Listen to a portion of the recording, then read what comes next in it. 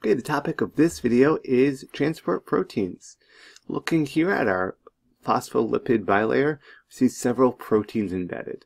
Now I want you to remember going looking back, diffusion can occur without any proteins. However, here we're looking at transport proteins. So in these examples, we're looking at um, substances that may need a protein to be able to move them across the phospholipid bilayer. Now this can be because of their size, because of their charge, for many different reasons, but simply they need a protein. Now needing a protein does not automatically mean it needs energy. Passive transport can occur with channel proteins and carrier mediated proteins. However, not all carrier proteins are part of the passive transport.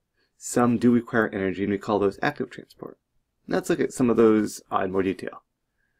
So starting first with active transport.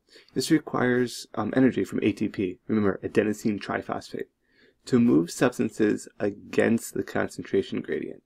What this, an example of this is up the concentration gradient. So what this looks like here is if we look at our membrane, and we have a high ion concentration here, and a low ion concentration up here. Typically, if the process of regular diffusion, just passive um, transfer of materials occurred, these materials would diffuse across the membrane. However, because we're looking at active transport, this is where we're using energy, ATP, to pull these ions, even though there's a low concentration of them, pull them across the membrane, and force them over here, even though they don't want to be. So it's kind of like you not wanting to go to class and being out in the hall after passing time, and someone has to come grab you and bring you into class with all your fellow students. So that's an example of active transport moving against the concentration gradient where there's a low amount of concentration and being pulled across to this area of higher concentration. This can be advantageous to the cell if they need this particular ion. Again, active transport requires the use of carrier proteins. There's two types. There can be a membrane pump or coupled transport. So membrane pump, think when you see the word pump, think of a normal pump. It could be a water pump requiring electricity, requiring energy, it could be petroleum products. Uh, the key part here is requiring energy. In coupled transport, we're going to talk about our co-transport systems here. So again, our active transport requiring energy. Um, ion pumps, they could move. These are sodium ions, potassium ions, calcium ions, magnesium ions. Potassium and sodium exchange pump is a very common pump. Uh, these proton pumps are moving hydrogen ions, as we see here. It uses photosynthesis or food energy to create a photon concentration, I'm sorry, a proton concentration gradient that then is used to manufacture ATP. so this higher hydrogen ion concentration, this higher proton concentration, uh, is what's being generated here and forced through ATP synthase here to generate ATP. So in order to generate our ATP, we need our protons to want to have a higher concentration in this external environment, in this internal membrane. Moving them across and forcing them over, in this case, is allowing them, us to harvest the energy.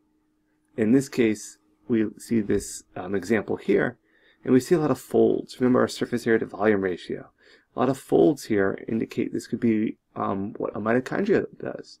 The mitochondria is forcing um, concentration of gradients and then harnessing that energy um, through a particular protein, passing it only through one way, and as a result, taking ADP and a free phosphorus to generate ATP. So proton pump, moving hydrogen ions, and photosynthesis, when we go over that, we'll see that in more detail, or food energy, to create this proton concentration gradient that then is used to manufacture ATP because there's a lot of protons here, uh, they want to diffuse across. We, the cell only lets them go through one area, and that's ATP is generated. Looking a little bit more at the membrane pumps, carrier proteins use um, energy from ATP to move substances across the membrane up its concentration gradient. Same thing here. We see a high amount of potassium ions here. We see only one on this side. The pump is pumping them in this case across, requiring energy to move them across, moving that concentration gradient. Here we see again, here's our potassium coming in, and here's our sodium leaving. We see ATP being broken down, indicating energy is being required. Sodium potassium pump is one um, active transport system. It's very common in cells. And again, it's moving the sodium, which is the Na plus here, and the potassium, uh, which is the K. And there's binding, and again, this is just representing a protein requiring energy for this to occur. Active transport's carrier mediated, one ATP, so one energy molecule, okay, right here, is moving three sodiums out and two potassiums in. So it's not always an equal number transfer. So here are binding sites. Here we have three green molecules. In this case, these represent the sodiums. And two orange representing the potassium. And this ATP is causing this movement across. It's called a transmembrane potential because it's creating electrical charge across the membrane. So across the membrane is transmembrane, and this potential is an electrical potential. It's because these are both ions, and they're moving not in equal amounts, causing a shift in the amount of charges that occur on one side or the other side of the cell. Here's our proton pump, again in mitochondrial membranes. In cellular respiration, the proton pump uses energy to transport protons from the matrix of the mitochondria to intermembrane space. What does that mean? We're simply taking our hydrogen ions and we're concentrating them on one side. They want to diffuse across, they can't get through this um, phospholipid bilayer, but they can get through this ATP synthase. That's this big black molecule here. And because they're moving through, as they're moving through, the cell, in this case the ATP synthase, is harnessing that energy and it's using that flow of protons to take ADP plus the phosphorus to train ATP. This is an active pump that generates proton, proton concentration across the mitochondrial membrane because there are more protons outside the matrix than inside. Okay, that's the environment here forcing them through. This is part of the reason why mitochondria have so many folds in them because they are um, having a lot of these ATP synthases in the membranes, allowing a lot of energy to be generated. The co-transport mechanism here, capable of moving substances either with or against their concentration gradients. Key two, key two terms here are symporters and antiporters. So uniporter, one porter, just moving one thing in one direction. That's what's going on here. Binding here, it's being released and pushed to the other side. Our co-transports are a little different. We classify them in two ways. So example here, we have our symporter. Two substances move across membrane in the same direction. Sim thinks same. Same co-transport. A and B on this side of the cell membrane are being moved to the other side.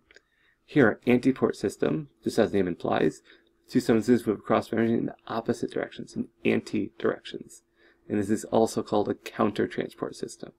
So we see here the triangle is moving this way, and the green square is moving to the other side. In this case here, we see them both binding to our protein, and they're both being released on the other side. Hopefully this helps explain some transmembrane proteins.